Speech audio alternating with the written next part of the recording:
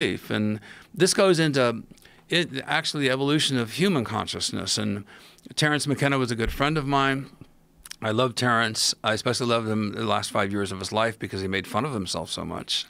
Terence, um, uh, people took Terence way too seriously in many levels, but as his brother Dennis, uh, which I think has been on your show a couple times. Yeah, Dennis is a, great, great ally, great scientist.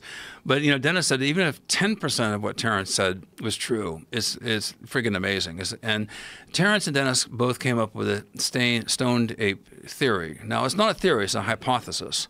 A hypothesis is speculative, uh, but cannot necessarily be as not yet proven. A theory is a hypothesis that has been tested and proven with facts. So I disagree with them in saying it's not a theory; it's a hypothesis.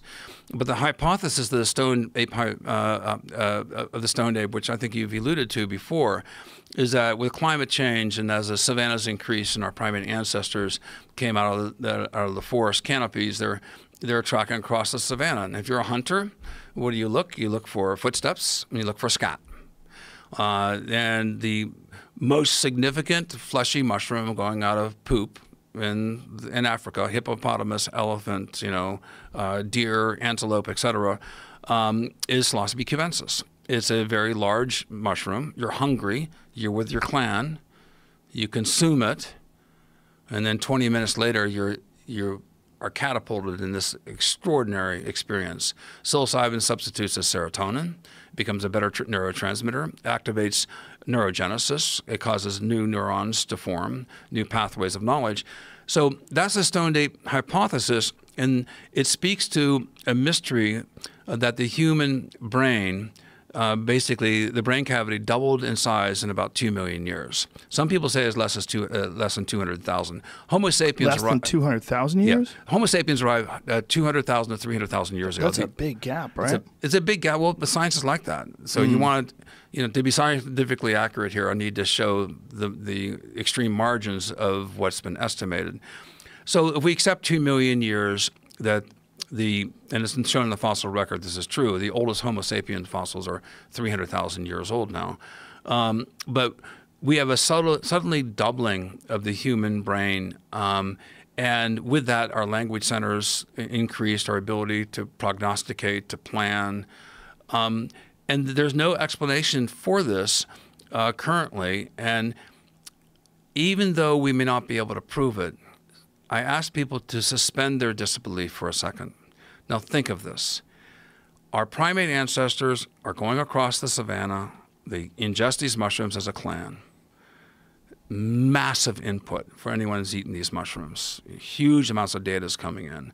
Fractal patterns, geometrical, you know, landscapes occur. Uh, you have empathy uh, you have greater courage. You're fighting a saber, saber, saber-toothed tiger. You know, one day you're, you have a fear of it.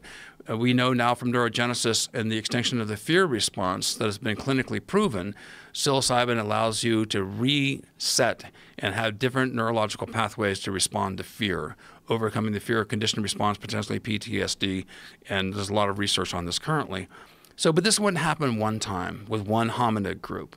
Wouldn't happen two times, ten times happened millions and millions and millions and millions of times over millions and millions of years. This leads to what I think is called, uh, this should be called epigenetic neurogenesis. We know that there's a regeneration of neurons. We know that psilocybin substitutes the serotonin. It opens the floodgates of the senses. You have a lot more data coming in. And we know that you have the extinction of the, of the fear response. So if you're the leader of your clan, you've had this traumatic uh, event, either war or cataclysm from earthquakes, whatever the case may be, or encounter a saber-toothed tiger, whatever, if you're the leader of that clan and you can overcome your fear response, you have courage and you have empathy. Those are leadership skills. I think people should take note of it. People like to follow leaders who are courageous and yet kind, who they can trust. They'll have their best interests in mind. So I think this propelled I think it's a lot. It's a very good explanation. It's an unprovable hypothesis, but now we're at a junction, and uh, for the ne- and we're ready for the next quantum leap in human consciousness. I think psilocybin should be looked upon as a nootropic vitamin, and there's a huge amount of interest in this. Johns Hopkins University, as you probably well know, uh, New York University, UCLA, elsewhere in Europe, there's major clinical studies that have been conducted in the past two years showing exactly what I'm saying about overcoming fear response, neurogenesis, overcoming PTSD. This is now medically uh, quite seriously considered and something that I think that we should explore under controlled settings. I'm not into partying uh, with psilocybin mushrooms. Damn. You're I going can- so good. I can understand the Ari Shaffir is going to be here in an hour and a half, and he's the creator of Shroom Fest. Uh-huh. He's going to be very upset with your idea that you shouldn't party with it. Well, I think there's greater benefit to Well, I- I yourself, agree with. I'm yourself and, and, and, and humanity. I think these are serious tools.